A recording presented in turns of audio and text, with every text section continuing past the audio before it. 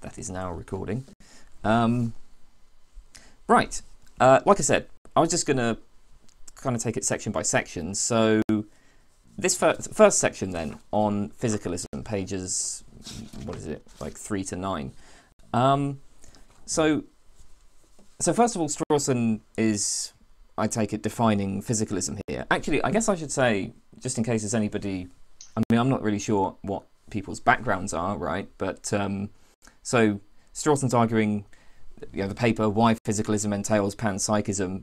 Just in case there's anyone who's not aware of this, panpsychism, um, at least as Strawson uses the term, is the view that uh, consciousness, mind, mentality, subjectivity is a, a fundamental and ubiquitous feature of the universe. Uh, it's it's like charge or mass. Um, you know, that like it, even something like an electron has mental properties, has experiential properties. Obviously, nobody's arguing that electrons experience emotions or beliefs or anything like that, but they they even something like an electron is going to have some very simple experiential properties. So um, it's quite a quite a radical view, uh, you know, quite a surprising view. Strawson's going to argue that physicalism entails this rather surprising view. Um, I don't know if anybody wants to disagree with my characterization of panpsychism. Uh, I think, um, I think that's a pretty fair characterization. I'd say like a panpsychist can be kind of agnostic to what, like, to the character of the experience of an electron, I guess, but that the like that the key thing is that there needs to be some experienceness to electrons if experience is going to emerge at all in larger structures. Yeah. Um, okay, so that's the kind of just the background here, and uh, this first section on physicalism. Um, so, so one of the things Strawson claims here is that, firstly, what he's calling a uh, you know, a real physicalist or realistic physicalist has to acknowledge the reality of experience, consciousness, phenomenology, uh, what its likeness, um, feeling, sensation, and the other things he says on that first page.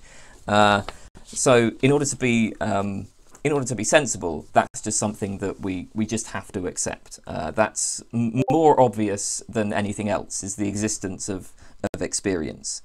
Um, and the, the other thing that's going to be involved in being a realistic physicalist uh, is the, I guess, standard physicalist view that ultimately there's sort of, you know, there's, there's, there's nothing more to our experience than what's going on in our brains and maybe other parts of our bodies. But but certainly, like you know, once you've got a brain, that's going to be enough to have experience. So we're not postulating like you know strange non-physical souls or anything like that.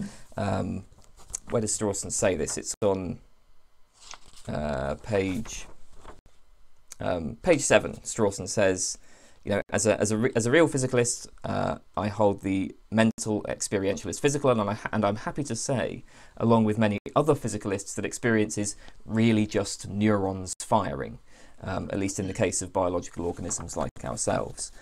Um, so, uh, yeah, I don't know. Any thoughts on on that? I mean, I think that those those are the two main things that Strawson is asserting here uh, is that, that, first of all, we, we, we must uh, hold that experience is a real phenomenon, and you know we can't kind of go in for uh, eliminativist views that, that try to kind of explain away experience.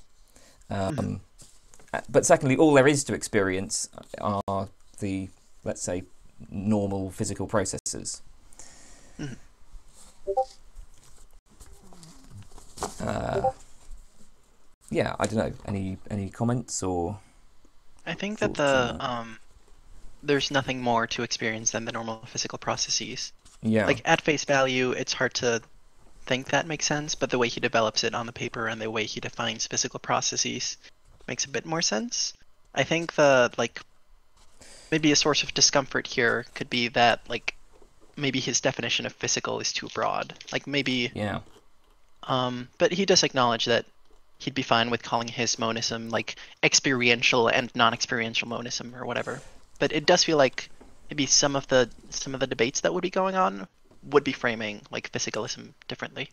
Yeah, I mean, so this is like I can kind of understand why somebody might feel let down after having read the title and then reading Strawson's characterization of what physicalism actually is, uh, according to him. In fact, he even says um, on page eight that, like he said, he says, uh, you know, um, okay, what, uh, towards the towards the bottom, he basically just accepts that there is a sense in which his use of the term physical is vacuous. Uh, right.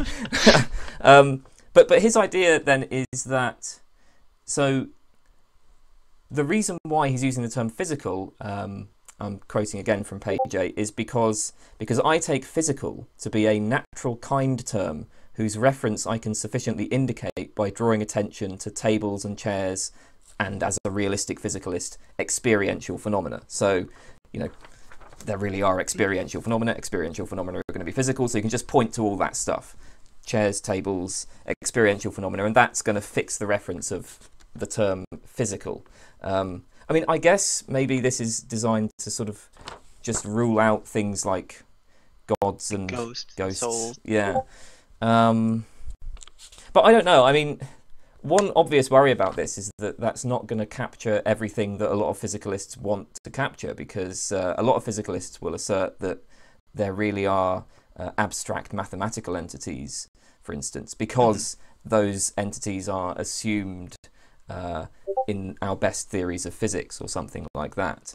Um, So, so on on the one hand, there's a worry that his use of the term is is too broad, and then maybe there's also a worry that it's actually too narrow because it's if you're just if you're pointing to stuff in order to uh, fix the reference of the term, then you're going to be pointing to concrete entities, and we might want to use the term more broadly than that.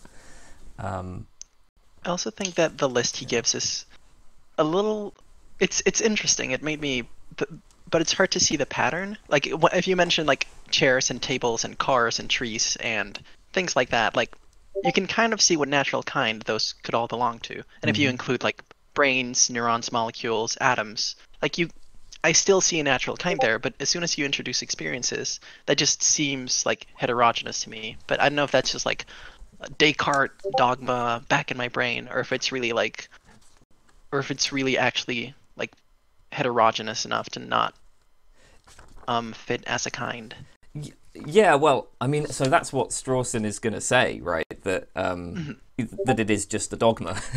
uh, Yeah. Um, I mean, Descartes' greatest mistake, I think, is what he calls that kind of thinking. Um, I mean, so I guess he does make a point about this actually that, well, uh, he develops in more detail in the next section, but um, on page four he says, uh, yeah, we have no good reason to think that we know anything about the physical that gives us any reason to find any problem in the idea that experiential phenomena are physical phenomena.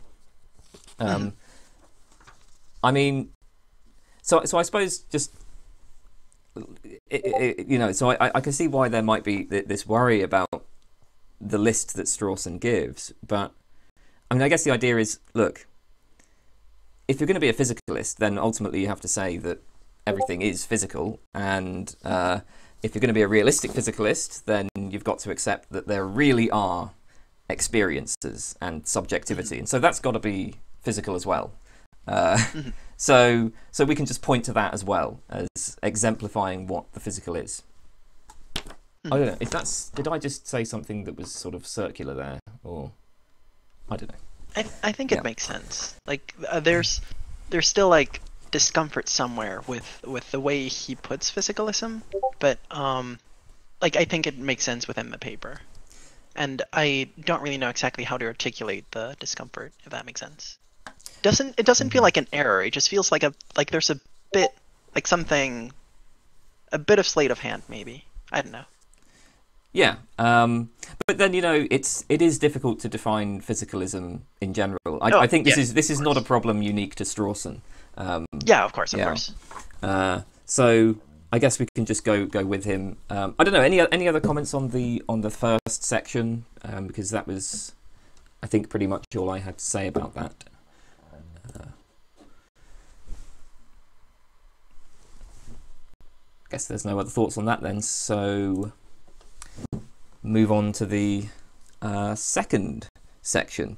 Um, okay, yeah. So I think there's okay. There's quite a lot going on here. First of all, um, this list of assumptions, these three assumptions. I'm I'm not sure that these are particularly important. I mean, actually, Strawson himself says he doesn't think he needs them.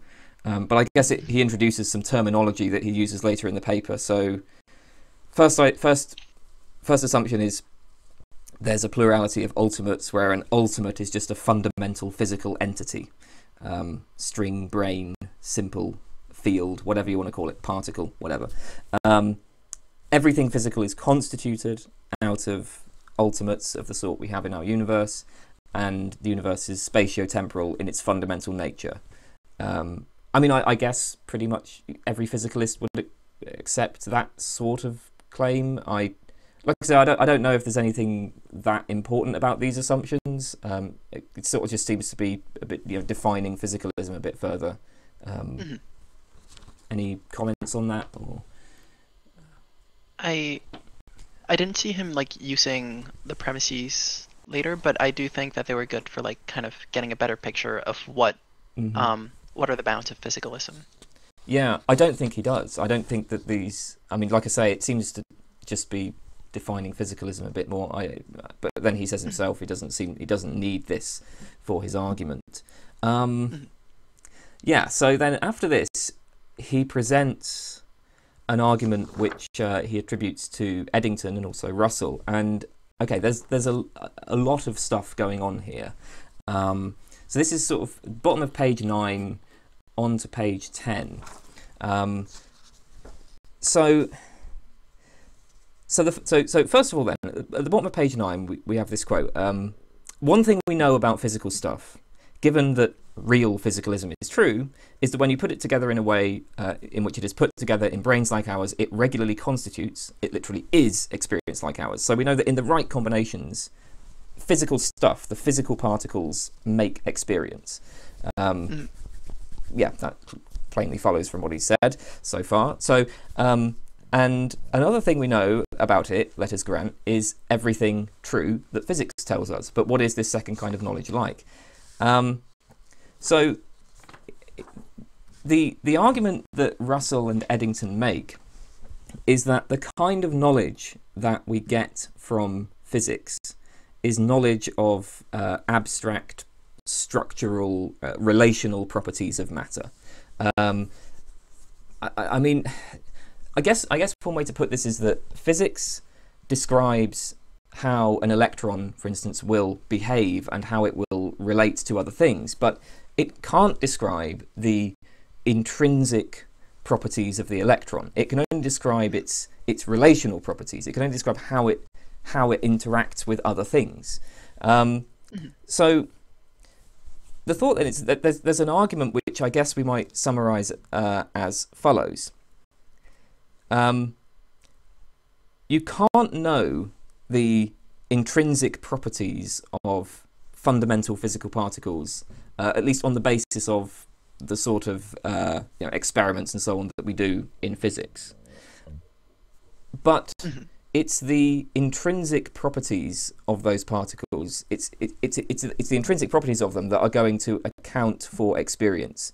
Um, it's the intri- so uh, experientiality is an intrinsic property. Um, obviously, as a result of our experiences, we will behave in various ways.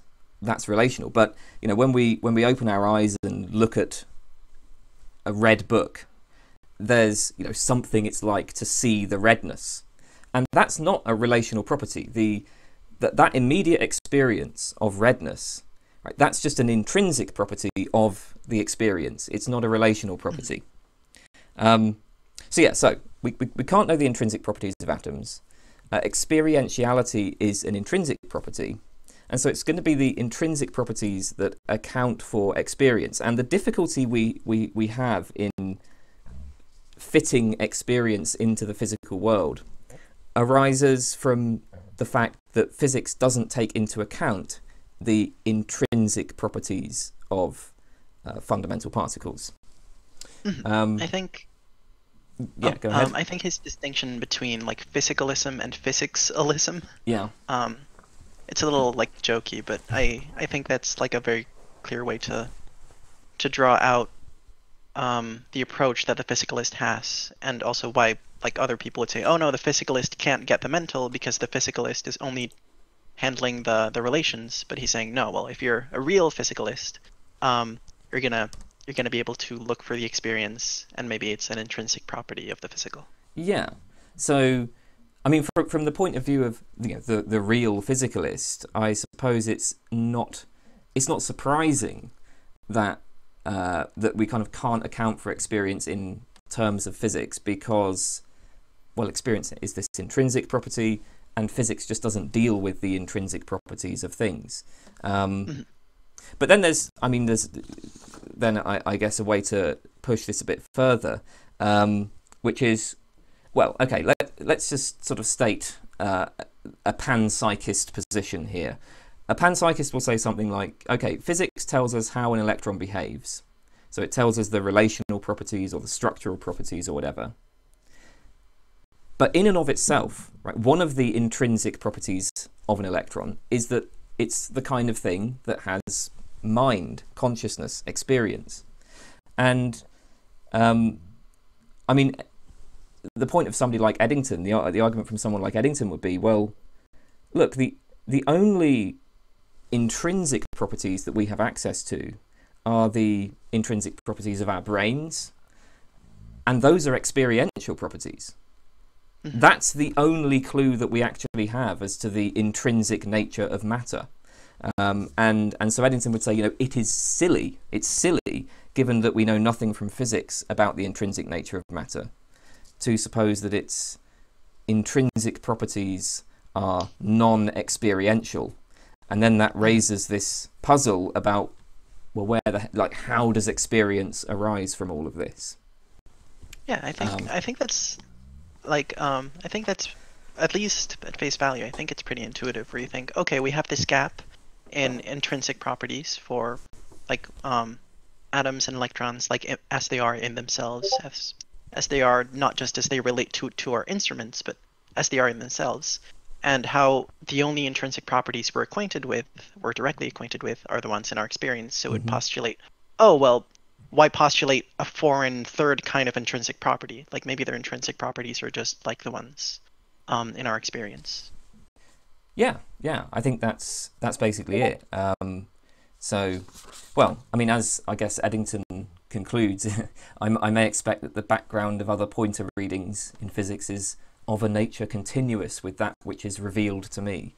Um, so, uh, yeah, so I, I mean, th- sorry.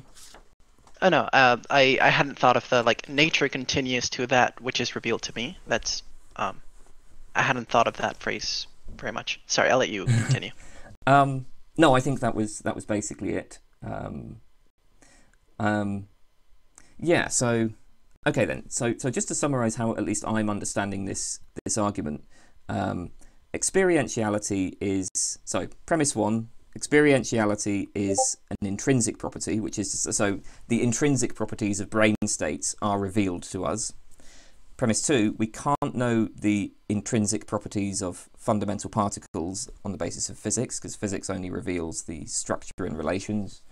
Um, three, it's the intrinsic properties of fundamental particles that are going to play a role in accounting for experience. Um, and, and the difficulty of fitting experience into the physical world comes from the fact that we don't take into account these, these hidden intrinsic properties.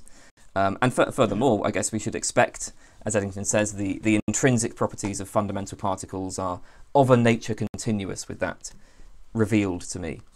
Um, so I don't know. th- There's yeah, I think there's kind of a lot going on here, but I, I think that's what the the argument is here. Which it's interesting because this is kind of like a you know Strawson gives his own argument, but this is in itself it seems an argument for panpsychism. Um, Mhm. um, yeah, I don't know. Any other comments on that point? Um, I think um, I might be like jumping the gun here, but I think one potential objection one could have is to say like, well, why would we suppose that um, physical things have intrinsic properties if physical things as they are in physics only have those um, relational properties? Mm-hmm. Yeah. Be- because it seems like we're kind of taking advantage of the fact that I mm, I'm trying to find the right words, but it, it doesn't feel like um like electrons would need to have intrinsic properties. Like it, that doesn't seem to be necessitated by anything. So it looks like we're looking at a gap that we could exploit to get mentality.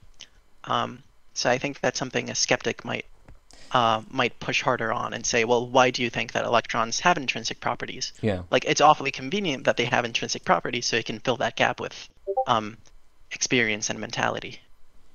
Yeah, I get. So, what would the um, so I guess the the worry would be that uh, if we if we're saying they only have uh, yeah, relational properties. Um, oh, okay. So I, I, I can I, I I'm I'm I think I can remember an argument here about dispositional properties, but you might not accept that all relational properties are dispositional properties. But so um, there, there there is a view uh, where we say that like all properties are really just dispositional properties, um, and I think the standard argument against that, if I'm, I hope I state this correctly, but it's something like for any for any disposition, we can understand like the nature of that disposition only only, only when we understand how it manifests itself. Um, so you know you, you understand what it is to be uh, like you know soluble, right? Only when you know what happens when something goes into you know water and, and dissolves, and you you understand what it is um, to be fragile only when you know what shattering is. Um, if you say that all that that, all, that at a fundamental level all properties are just dispositions, then the manifestation of a property is just going to be some other disposition. Um, And then the Oh. manifestation of that's going to be some other disposition. And I, now I'm not sure if the same argument could be generalized to all relational properties. And I'm, I'm not sure if that argument made sense, but that's just one. Okay, that, that's, that's as good as I can do off the top of my head. Uh, I think I, I see the shape of it. I'll have Yeah. to think about it. Yeah. Um, that that might not have been a very good presentation of that. Um, but I, I, that's maybe one one sort of answer to your question. Uh, but yeah, I mean, no, it's a, it's it's it's a good question, right? Like we're just we're assuming that that these things have intrinsic properties, and that's not just obvious. Uh, so, uh, yeah, okay. So uh, just to, um, I guess, put this in, you know, Strawson's words, Strawson's conclusion in the form of a uh, question. On page 11, he says, you know, why then, on what conceivable grounds do so many physicalists simply assume that the physical in itself is essentially and wholly a non-experiential phenomenon? Um, and actually, I guess that's maybe another way to to answer your question, which is to say, well, you know, look, I'm I'm not necessarily claiming that it's uh, that, that it is experiential, but there's there's a challenge here to the standard physicalist who wants to say that it's not experiential. Like, what possible reason could there be for uh, for thinking that? um, okay. Um, so so we then get uh, these sort of two views that, that, that Strawson states, which he labels NE and uh, RP. So he says many physicalists accept NE, which is the claim that physical stuff is in itself, in its fundamental nature, something wholly and utterly non experiential. Um, and realistic physicalists accept RP, which says that experience is a real concrete phenomenon. Every real concrete phenomenon is physical. Um, so, the standard physicist, uh, or at least a standard realistic physicalist, is going to accept both of these claims, uh, at least according to Strawson. Um, any thoughts on that? I think I think you would say that a realistic physicalist would accept the second one without accepting the first one, but that a physicalist that isn't a real physicalist um, will want to have both of them, um, but will would only be able to do it with brute emergence. I think, but I'm not. I'm not sure. Oh well, I so I thought that being realistic in one's physicalism simply amounted to like acknowledging the reality of experience. Um, Yeah, and yeah. hand holding that you know experience is is physical. Um, Yeah, I think a, a better way to word. Um, I I I think I said it wrong. Uh, to word it better, a real physicalist will need to endorse RP. Yes. Experience is a real concrete phenomenon, and every real concrete phenomenon is physical. But if they also endorse NE, um, physical stuff is um, non-experiential, then they're gonna run into trouble. yeah, I yeah. think that's what Strawson. Yeah. Oh yeah, yeah. That's I think Strawson's yeah Strawson's argument. Um, okay, yeah. So that's that's section two. Uh, all right then. Um, section three. Uh, and well, unless there's anything anyone wants to say about section two, I will move on to section three. Uh, yeah. Okay. Um, so this this is a pretty long section. This one, and I mean, I. Okay, I guess I'll, I'll just summarize what I take to be the, the, the main takeaway from this whole section because he does, you know, as I say, this, this is kind of a long section, um, but it contains the, the heart of the paper, which I, I guess we could call uh, the anti emergence argument. Um, so, first of all, Strawson says, well, you know, can we hold both RP and NE together? Um, and he doesn't think so, right? So the point of this is going to be that RP and NE are incompatible. And I take it that the basic argument here is is just this: RP and NE together entail what Strawson is calling brute emergence, but brute emergence is unacceptable. So, you know, we can't hold both of them, and um, you know, obviously, we're assuming physicalism for the purpose of this paper, so we have to give up NE, um, which means we have to give up the claim uh, that um, what exactly was it? Uh, just to state it precisely.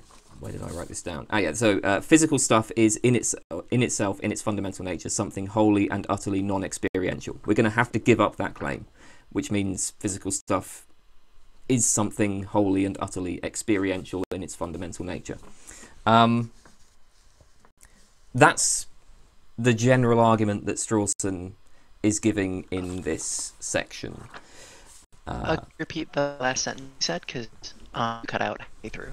Okay, sorry. Yeah. So, um, uh, what was the last se- sentence? I okay. Uh, um, general argument. And, The Straw- and then you said something. yeah. So, ge- general argument that Strawson's giving is RP and NE together entail brute emergence, but brute emergence is unacceptable. Um, we're assuming RP for the purposes of this argument, so we have to give up NE. Uh, NE being the claim that physical stuff is in its fundamental nature something wholly and utterly non-experiential. We have to give up that claim. Um, so that's just me sort of summarizing this part of the paper. Um, yeah, um, I don't know. So, what, any sort of general comments on on this, or should we kind of get into the details of the argument? Um, I have some comments, but they're just about the whole section three. So Okay. Maybe- well, yeah. I mean, maybe Yeah. we'll. I don't know. Come back to them later then. Uh, yeah, yeah. Um, all right. So, first of all, uh, the standard defence, at least according to Strawson, of holding both RP and NE is to say that experience, experiential phenomena are emergent. Uh, and the standard example of emergence, um, or at least a standard example, which Strawson gives, is liquidity.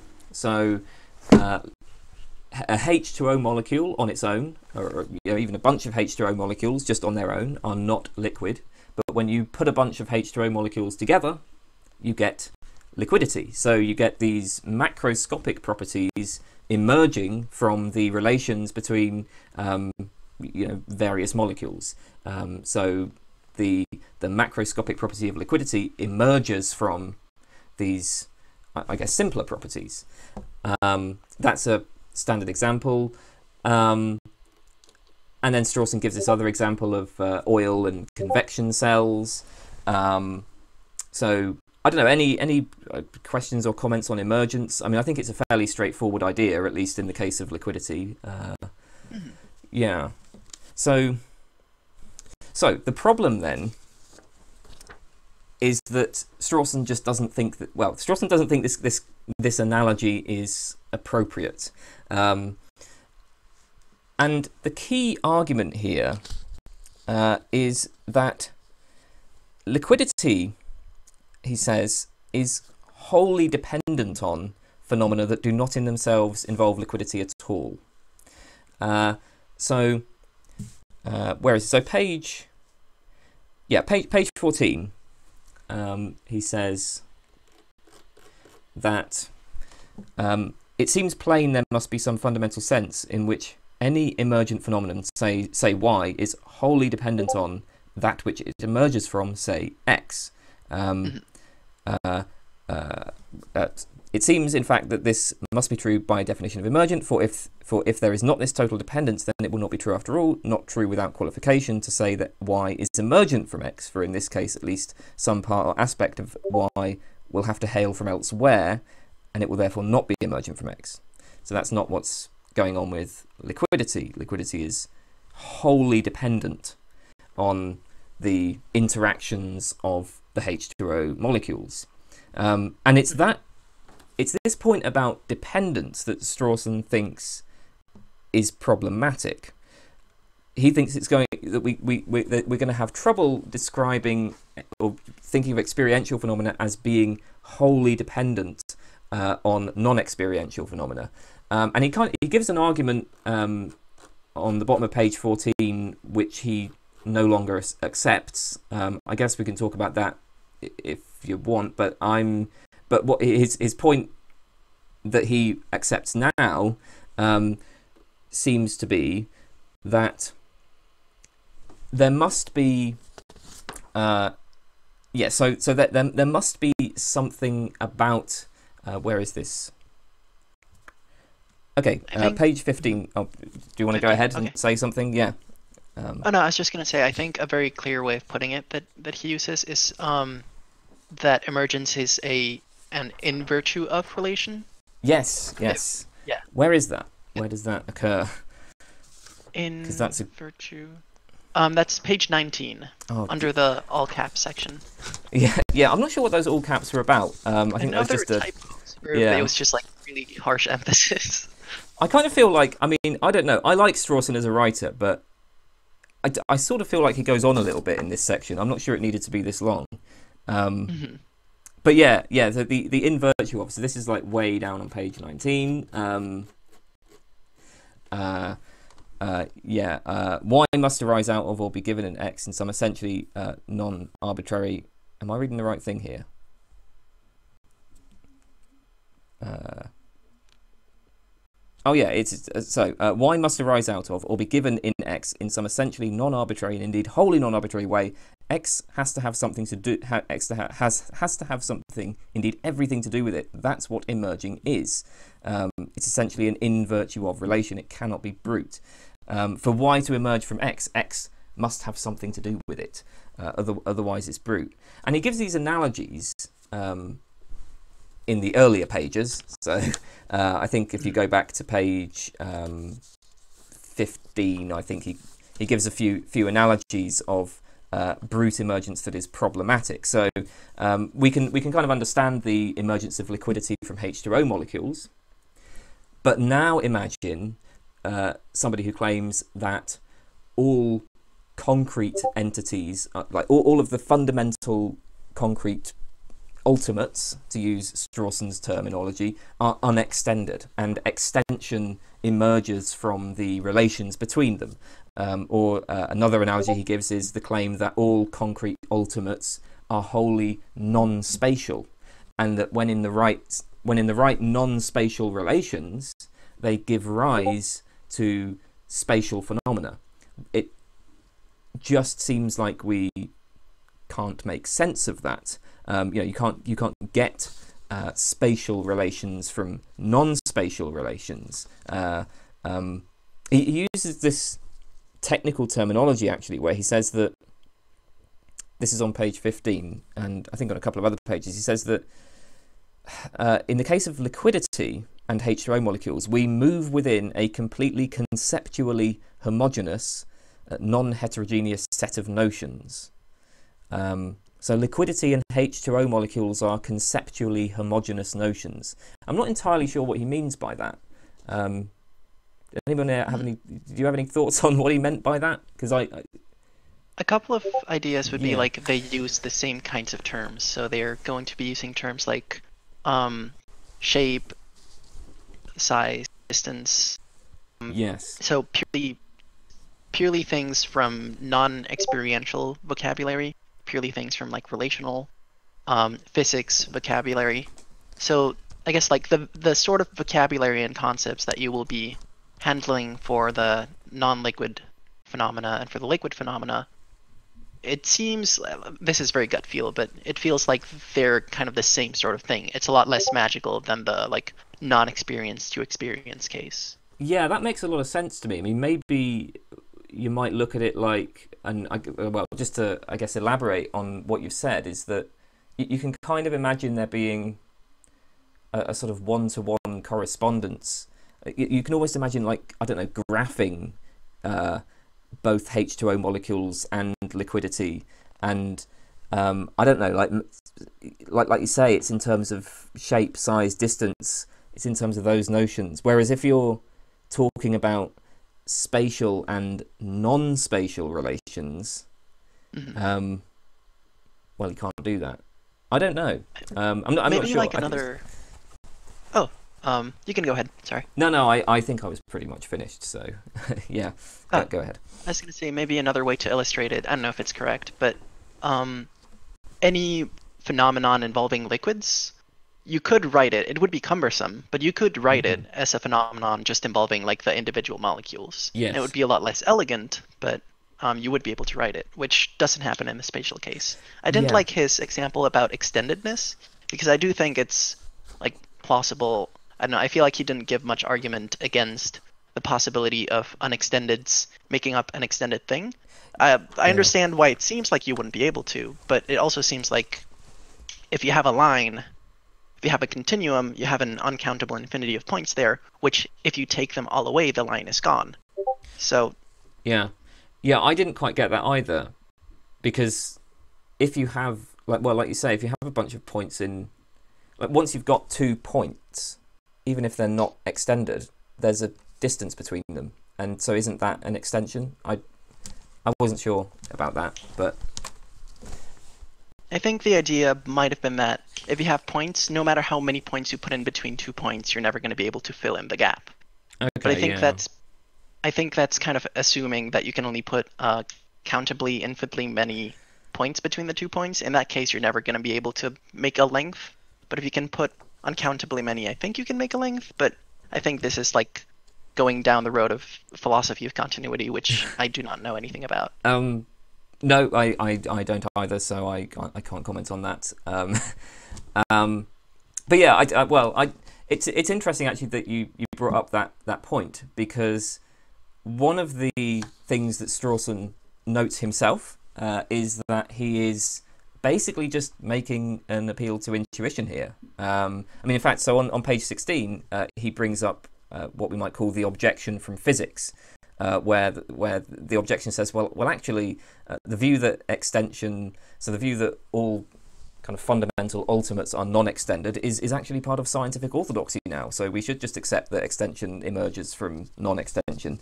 Um, and Strawson says, well, you know, look, if one is being metaphysically straight, uh, the intuition that nothing concrete spatiotemporal can exist at a, at a mathematical point because there just isn't any room is rock solid. Um, I mean, I don't know. Is it rock solid? How do we, how do we decide?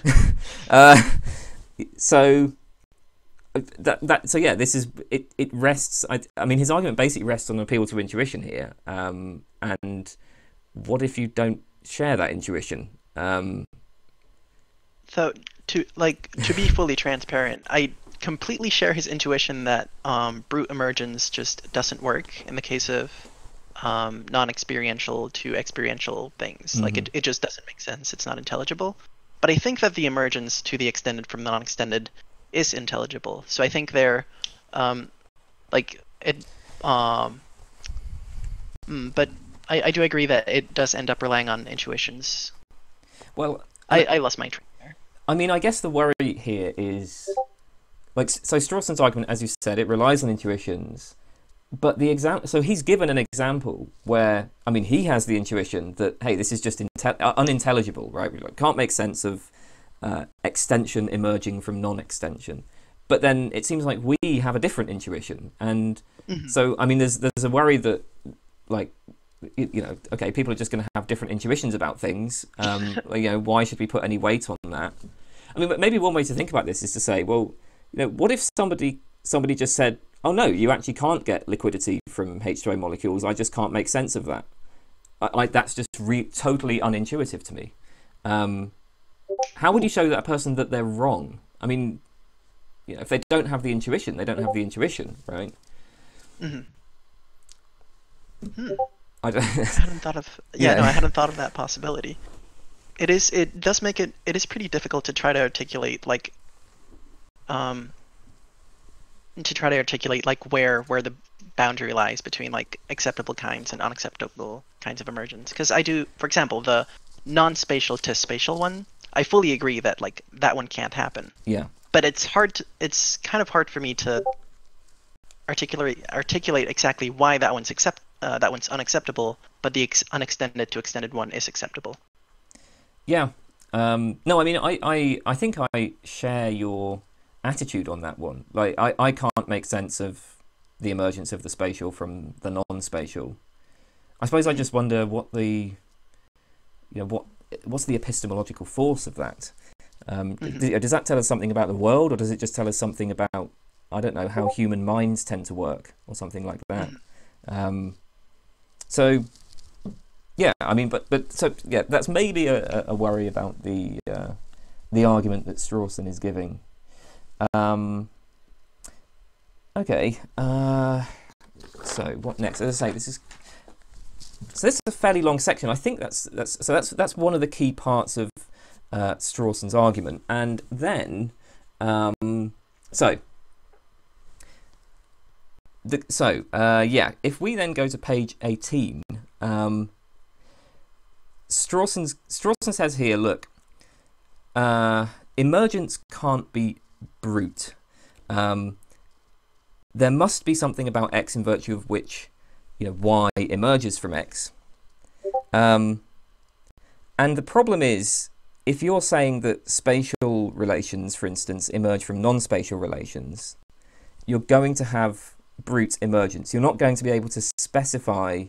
So you're not going to be able to specify the like in virtue of relation. You're not going to be able to specify what it is about the non the non-spatial relations in virtue of which the spatial relations emerge from it.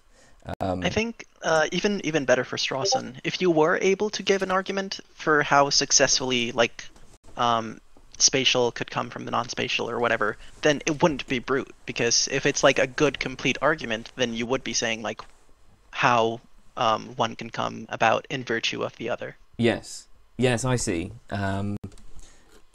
So in that case, uh, where are we? Um, yeah, so uh, in, in that case, you uh, wouldn't then have an analogy to uh, experience and like non-experience, right? So even even if you could show that the spatial emerged from the non-spatial, uh, the well, I guess the answer would be is like okay, well that that's not an appropriate analogy. Um, you know, we have to go because we're gonna. The point is, is that in the case of uh, experience and non-experience, experience emerging from the non-experiential, it's brute. It's brute emergence. There isn't going to be any feature of the non-experiential, like in virtue of which the experiential emerges. Um, Mhm. I think. I, I guess that's the the basic point, right? Um, Mhm. Yeah. Um, so, uh, if that's if that's true, then if you accept both, um, you know, the reality of experience, and you accept NE, and remember that NE was the claim that physical stuff is in itself, in its fundamental nature, something wholly and utterly non experiential, then you are committed to brute emergence, which Strawson thinks is uh, nonsensical. Um, mm-hmm. So uh, that's that's the basic argument right there. Um, and uh, he then, I mean, he has this nice uh, point that he then makes at the bottom of page 19, where he says, well, you know, given the fact that experience is an undeniable reality, uh, and given the fact that this, in combination with NE, uh, entails brute emergence, why on earth would you ever commit yourself to NE? Like, what's the what's the point of that? Um, mm-hmm. You know, you're uh, well, as he continues on into the next page, by committing yourself to the existence of uh, to, to, to NE, right, you're committing yourself to something for which there is no evidence whatsoever, and that ends up saddling you with brute emergence. Um, and he thinks that's that's silly. Uh, yeah. Um, so yeah, well, that's any thoughts on that? I mean, that's that's Strawson's main argument. Um, I think the non-emergence, anti-emergence argument. I think like I found it very persuasive, but I was also like already not a fan of emergence, so I don't know if I was just like agreeing because I already agreed. But I, I do think, um, especially like his, I think he illustrates really well why brute emergence is unacceptable. Like in the passage where he goes, "Oh, if emergence can be brute, then it is fully intelligible to suppose that non-physical soul stuff can arise out of physical stuff." Um, oh yeah, yeah, that's a good. Wait, that's page nineteen, I think, isn't it? Yes, yeah. that's uh, halfway through page nineteen, right next to footnote thirty-four. Yeah. And I think like that's just that's a really vivid way of putting it. Um, and I think yeah, his his um, objections to emergence I think are very clear and intuitive. Yeah. So it's it, if if you accept brute emergence, uh, then it's it's like anything goes. Um, well, it, brutality rules out nothing, uh, as he puts it. You know that um, you can just basically populate the world with, with anything and just say, well, it's you know, brute emergence. Um, mm-hmm. I mean, the, the, the question then is just going to be whether he's done enough to show that the emergence of experiential from non-experiential uh, phenomena would be brute. Um, mm-hmm. I mean, I, well, I guess I've I've already mentioned my c- concerns that one might have about the appeal to intuition. Um, uh, yeah. I don't know. Yeah, I mean, so uh, do you, do you have any thoughts on this? I mean, do you think that's a it's a good argument? Um, I think so. Um, since uh, premise the NE, the premise, physical stuff is in itself, in its fundamental nature, wholly and utterly non-experiential. It just it's hard because uh, I, I feel like all I can say is I agree with this intuition like very mm-hmm. strongly, very viscerally. Um, like I agree very strongly that if if there's nothing experiential in any form or sense, uh, then the experiential can't just emerge. Like, or maybe the experiential experientialness to to make an um, adjective or noun out of it um, is very different from like liquidity or from maybe from extendedness. Um, yeah. So I, I, I do think it succeeds, but I, um, maybe if someone was like really like bent on insisting that no, no, you can have non-brute emergence, like I would like to hear their reason, um, because if you can't give me a reason for how something that doesn't have any a in it gets a in it by being arranged a certain way, I, I will want a reason for it, because yeah, like Strawson says, if we allow for something to emerge from something else without any reason whatsoever, then we're allowing like anything to emerge from anything, and then it doesn't even seem like emergence. It just seems like yeah. magic conjunction. I mean, um, I, I, I think I share the intuition. Uh, like in the case of H2O molecules and liquidity, I can I don't know. Maybe one way to put it is that I can almost like have a picture of it, and you can. Yeah. And and even if the picture that you have isn't right, you can you can almost have a sort of possible picture of how this might work. Like if you imagine a bunch of balls uh, jiggling around and kind of sliding past each other, um, and I've, I, I don't know, is that a double entendre? But uh, we'll have to go with this. But there's lots of them, loads of loads of balls. Uh, you can see how you could like put another object into that, right? And then if you kind of imagine that on a very very small scale, you're like, oh, okay, a liquid is lots of little molecules banging around, and that's a very again, that's like massively simplified. That's not really what's going on, but it's what could be going on. So you've got a picture of how it works. Um, you certainly, I mean, Yeah. well, you certainly can't picture that in the case of experience. Um, so the intuition is powerful. Uh, I, I Yeah. guess I just, I don't know. Maybe I just don't put as much weight on those sorts of intuitions. I, I'm more inclined to just adopt a sort of agnostic position and say, okay, well, you know, we don't know how experience arises. Um, um, but yeah, um, it's it's an intuitive argument, I think. Uh, Yeah. Okay. Uh, any other comments on on this section? Um, I think that was all I had to say about it. Um, Anymore. no? Okay. So, or hmm, maybe one last consideration is that um, even if we even if for example someone couldn't make intuitive sense of how h2o uh, sorry liquidity could come from individual h2o particles it does seem like if they were explained the connection they would like agree to it or understand it um, Yeah, so i think that's that explainability um, is the thing but maybe i'm just pushing things back to a question of oh well what if someone doesn't agree with the explanation Yeah, you see, that's the sort of thing. That's what gets me. It's like, well, yeah, but what if? I mean, what if they didn't? Would we just say that that person is, like, I don't know, like has a cognitive deficiency somehow? I mean, like, it, it seems logically possible, at least, that there could be a person who's perfectly intelligent and perfectly capable of reasoning, who just genuinely finds it completely unintelligible. Like, I, d- I don't know. I don't know how to rule that out. And then you can you can similarly imagine like a race of brilliantly intelligent aliens who have who just understand how you can get uh, the experiential emerging from the non-experiential, and they can't explain it to us. Um, yeah, I think like one move it does uh, the one move the paper does grant us though is the like as long as you haven't explained to me how it's gonna emerge from it, then I'm not gonna accept your emergence. And I think that's like a that's I think a legitimate way to warrant that. Yeah. Um, it's put up or shut up, I guess. uh, one way to put it. Um, yeah. Um, okay.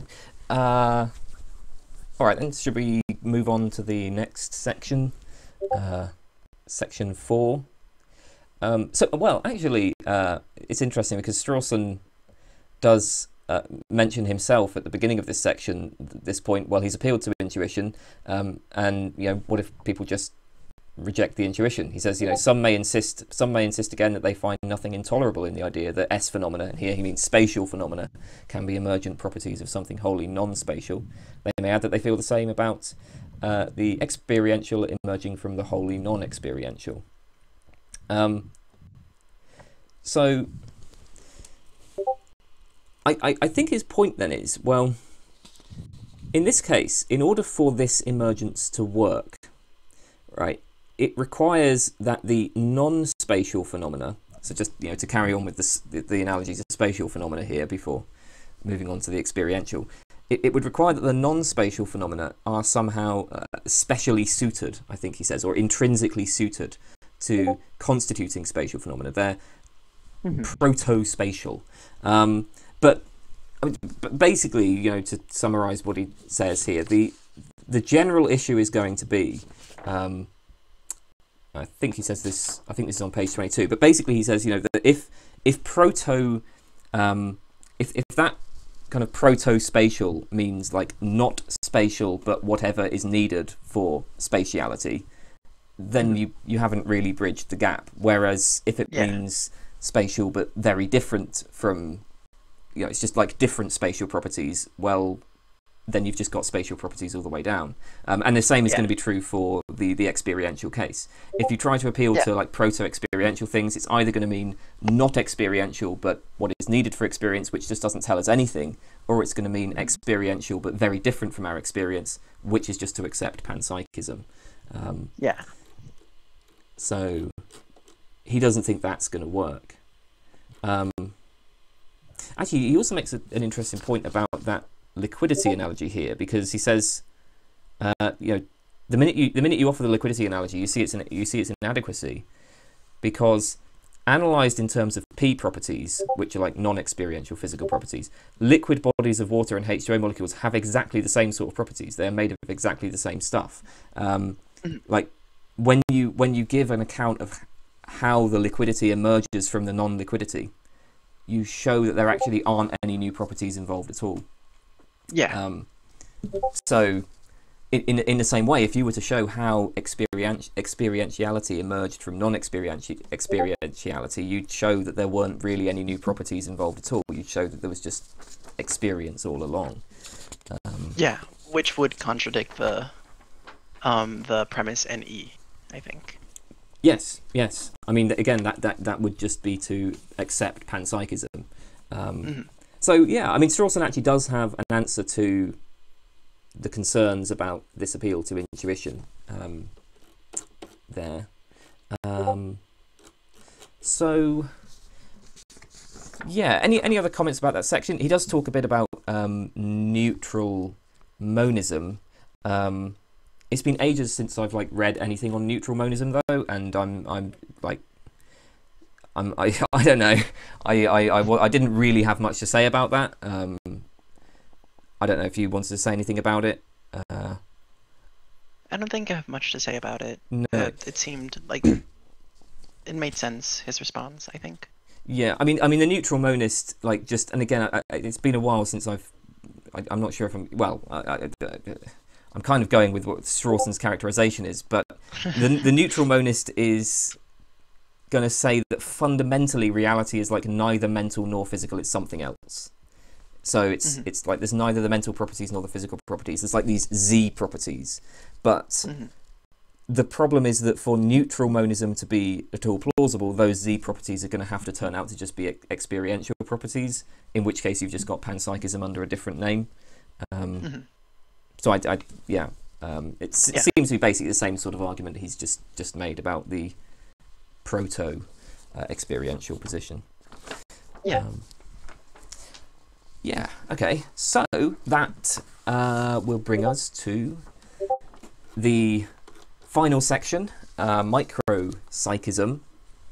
Um, and I think that so uh, uh, where am I? So a lot of this uh, first, I think he's sort of summarising what he's kind of already said. Um, there's an interesting point though. So he, he the, the point of this view, micropsychism. Micropsychism is just the view that um, there are like some fundamental particles that have experiential properties. That is not yet panpsychism because panpsychism is going to claim that they all have experiential properties, all of the fundamental particles. Um, so, how do we get from micropsychism to panpsychism? Uh, this is on page 25. Uh, he says basically, if you if you accept mic- micropsychism but not panpsychism, then there is what Strawson calls a, a radical heterogeneity at the very bottom of things. Um, Yeah. He says it, it you know it, it would it would be it would look like the idea that some physical ultimates are spatiotemporal and some aren't, and that's just bizarre. I don't know. This seemed like a, a really flimsy justification for a very big step to me. Um, Well, I think like if you have, um, I don't know if this is like is too much of a sketch, but if someone said like, oh, only one of the fundamental fields, only one of the fundamental particles, is experiential and the other ones aren't, it doesn't really seem to be much of a victory over panpsychism because that's still like a field that's extended over, like the whole world. Um, I think put another way, like, um, if you if you're like, oh, I'm not a I'm not going to endorse panpsychism because it's too weird, so I'm just going to be a micropsychic or whatever. Uh, then like micropsychism is still about as weird. yeah. Um, so I think he's saying like, well, micropsychism and panpsychism are both weird, but panpsychism seems less arbitrary. I yeah, I mean, I can I can agree with that. I just I don't, I don't know. Uh, again, maybe I'm just more inclined to be agnostic about this sort of thing. I don't, I don't really see why it's a problem if there's a bit of arbitrariness in the world. Um, I mean, That's that's a that's a fair point. Like, uh, I'm not sure what. Does does it, I mean, I don't think everything has like mass, for example, does it? There are some massless particles. I mean, why couldn't there be particles that are experiential and particles that aren't? Like, Mhm. You know, uh, Yeah, I think even uh, even if he doesn't like succeed in um, establishing a preference for psychism um, over micropsychism, it's it's still pretty weird. I feel like micropsychism like gets the spirit of panpsychism. Oh yeah, absolutely. I mean, like if you've got a successful argument for micropsychism, that's a really substantial, that's a really substantial conclusion. I mean, well done. You know, Yeah. that's that's that's a great conclusion. Um, so I, I just yeah, I think he he just seemed to be kind of committing himself to. Uh, you know, I- it didn't seem to me that there was there was the justification for taking that further step. Um, but I agree that the the difference between micropsychism and panpsychism is is not that important. uh, yeah. Um, so the next thing Strawson does is discuss a couple of problems for uh, panpsychism, and um, I mean these were sort of the, the, the end of my notes on, on this paper, but this is sort of starting around page 26. One of the problems he raises is that panpsychism uh, seems to commit us to a very large number of subjects of experience. So the thought is you, you're not going to have an experience without an experiencer. Um, Mhm. So in, if, you, if you're saying that an electron has experience or subjectivity, then is, it's going to be a subjective experience. And that apparently is a problem, although I don't I, I just don't have the intuition that that's a problem at all. I think if you accept, like, it just seems to me like once you've accepted that experience, an electron can have experience, I don't see what the big deal is about saying it's a subjective experience. But maybe I I'm think- missing something there. I yeah, I, I agree with that. I think another fun move that could be available would be to just say like you can have experiences without experiencers, and they can just like float free. um,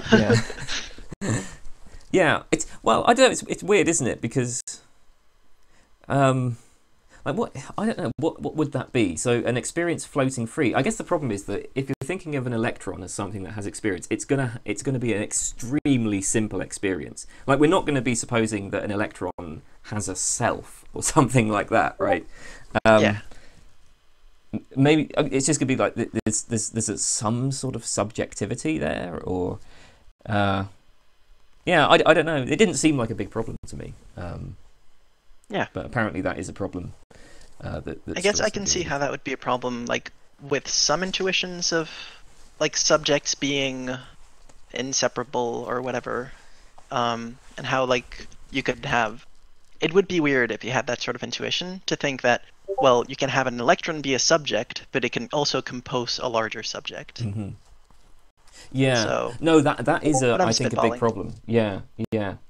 Um I mean actually Strawson kind of hints at this problem I think. Um Uh, when, when I mean, in fact, well, later on page 26, he says, in general, we will have to wonder how macro experientiality arises from micro experientiality, and there's there is this general problem of, well, okay, how do you how do you account for for the emergence of complex experientiality out of the simple experientiality?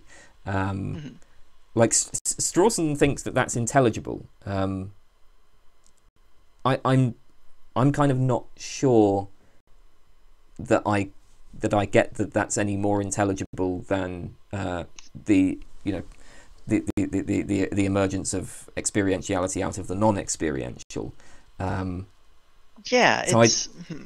Well, I don't know. What, what, what did you think about that? Because I, I, I have a I have like a couple separate thoughts because it's it seems to be like we're saying okay we don't want experience to come out of nothing it needs to come from something that's kind of experience y yes. um, in the constituent parts of the of the whole um, but since we can't really spell out how such like composition would work um, it's still that's still kind of a, an unexplainedness there that I think an opponent could exploit. They could be like, oh well, if um, because well, I'm trying to find the words, but the idea here is that um, if you say that the fundamental particles are mental in some way, then it can get its men- the larger like the brain can get its mentality from somewhere.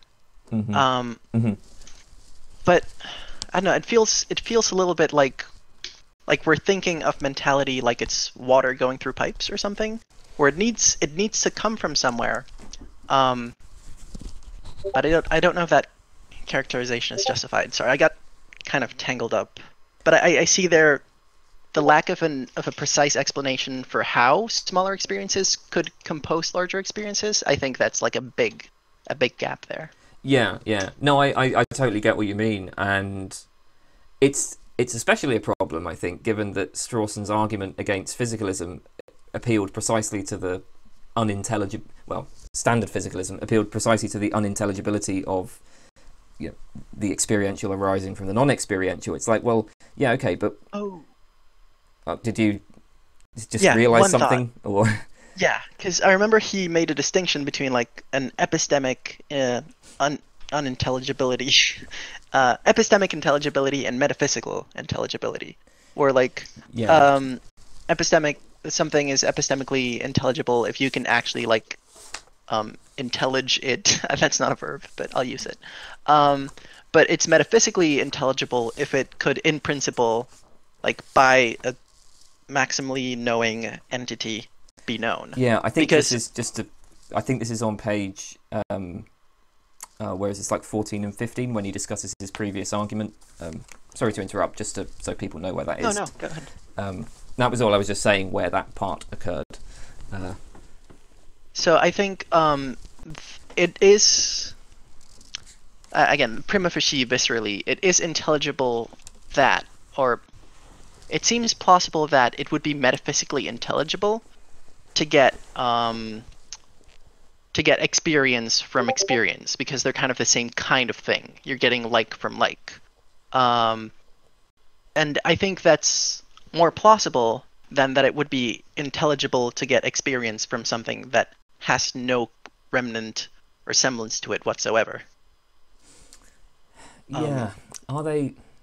Yeah, yeah. Okay, I can see I I think like like- maybe because hmm, there's there's the other point though that I mean when you say you're getting like from like, you mhm. can you can sort of always define the kind that you're talking about in a broader and broader way, so that Mhm. you're always getting like like if you if you were to say well um, both experience and non-experience are concrete spatio-temporally located things uh, so you're getting like from like do you see what i mean right like you Yeah, can, yeah, you can yeah. kind of always make that that move um, Yeah, that's a fair point. I think. Hmm. Okay. The the really the really like difficult turning turning point here is getting A from B. When you get when you get A from B, there needs to be some sort of explanation for how you get um, A from B. Um, but I guess one question that can come up is like, well, how good of an explanation and at what level?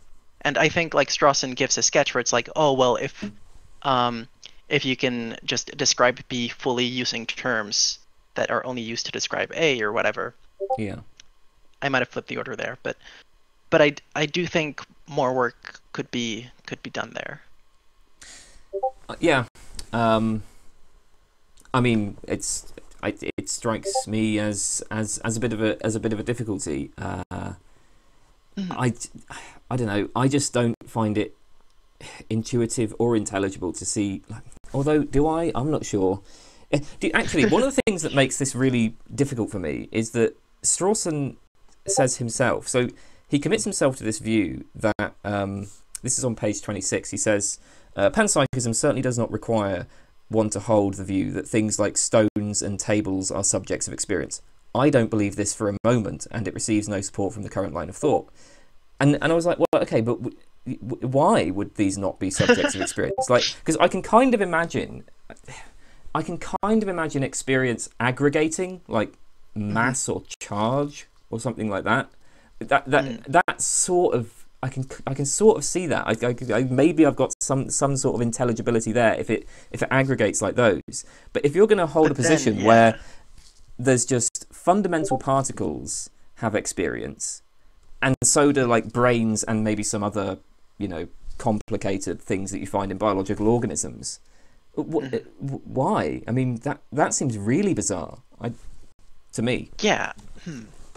I think uh, one one gut feeling initial move would be like, well, but brains have like all of these structures that let it have a more like intelligible, more more structured sort of experience. Like the, the connections that the brain makes are maybe more suited for more sophisticated experience than um, than the structure of a table. But as I'm saying it, it just it feels too convenient. No, I, I mean, I, I totally agree with you. Like, absolutely, brains have in, have the complexity of structure to support really complex experience. Like, I, I imagine the experience of a table, uh, you know, if it makes sense to talk about that, is going to be really, really simple.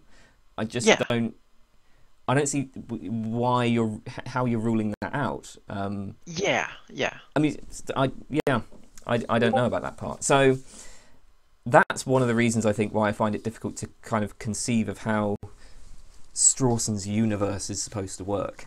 Uh, um, yeah. Uh, all right then. Well, I I think that was like that's sort of the end of my notes about this. Um, Strawson does say some other stuff about like general approaches to metaphysics. I didn't really make any notes on that. Um, um, so that's that's what I've got to say about it. Um, if there's anything else, any uh, yeah, any any other comments about Strawson in general or uh, the I have one- argument?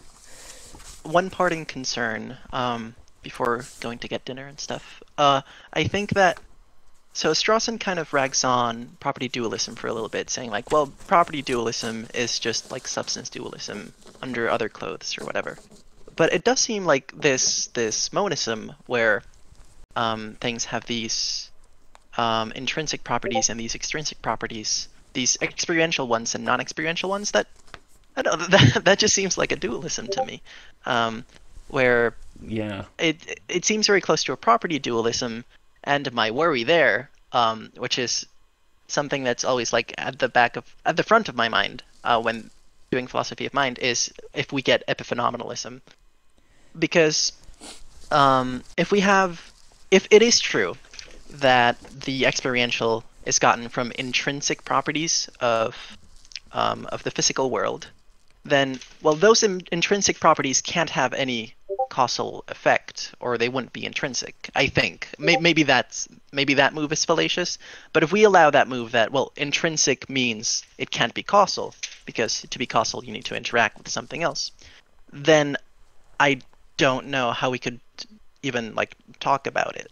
I don't know how we could talk about those like non-causal concrete things. I think the way to defend that move that you made would just be to say, well, if it if it were causal, you'd be able to detect it physically, right? But I mean, part of Strawson's argument is precisely that physics right, only detects the you know the relational properties, doesn't detect the intrinsic properties. Presumably, the intrinsic properties are going to count as non-causal.